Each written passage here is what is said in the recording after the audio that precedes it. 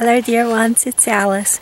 I am of the stars, and I was at um, Gurdwara. It means the, the door of the Guru, and, and by Guru is meant uh, the way from darkness into light.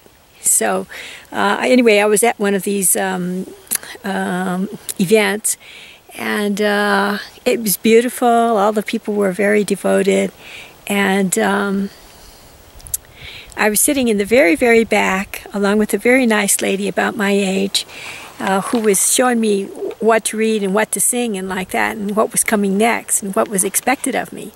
And so behind her and to the left of her was um, I, either a mother or maybe a grandmother with a little boy of about mm, two years old, I guess, just having learned to walk, maybe two and a half. And um, I think it was him that was that talked to me.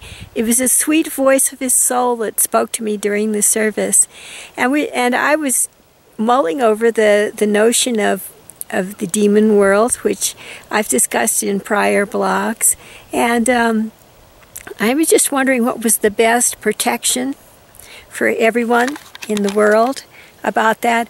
And then I heard the sweetest voice speaking and uh, it's it, either it was an angel or it was the, the, the beautiful soul of that little child there, and it said, it said, it, I'll try to say it sort of like they say it. Um, when the animals come around, say, May the air fall asleep. So immediately I tried it and it worked wonderfully well. It's, it's, it's a prayer, I think. It's a prayer.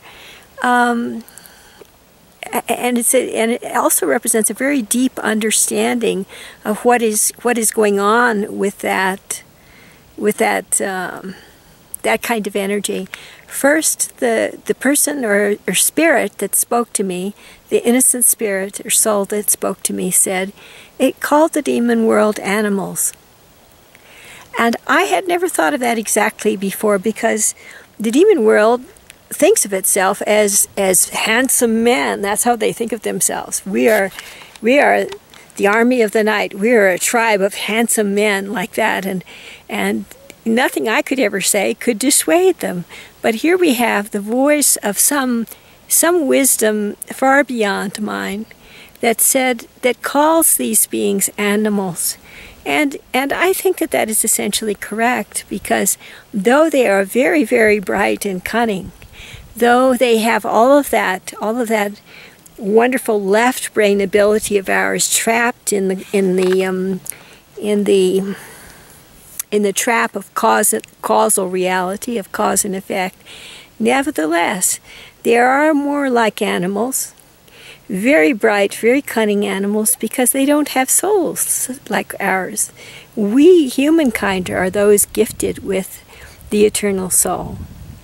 So that's one thing that I derived from that from that talk, and the other is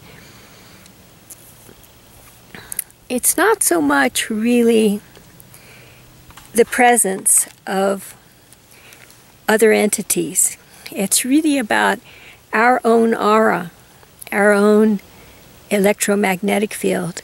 So when a person says, may the air fall asleep, what they're really saying is, may my electromagnetic field be, be smoothed and softened and calmed and, and set right.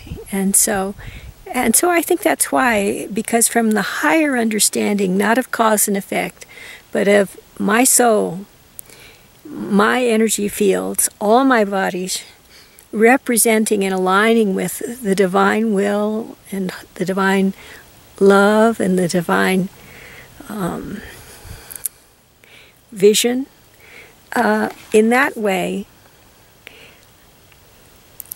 all this play of duality falls asleep, and, and we become that which is far beyond that. We remember who we really are. So what words of wisdom? When you when the when the animals come around you, say, May the air fall asleep.